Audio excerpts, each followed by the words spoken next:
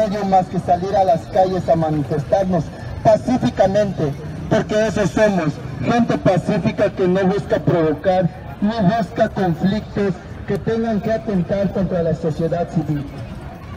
Nosotros queremos atención inmediata a nuestras demandas, como lo son los acuerdos que se han venido trabajando desde el año 2010,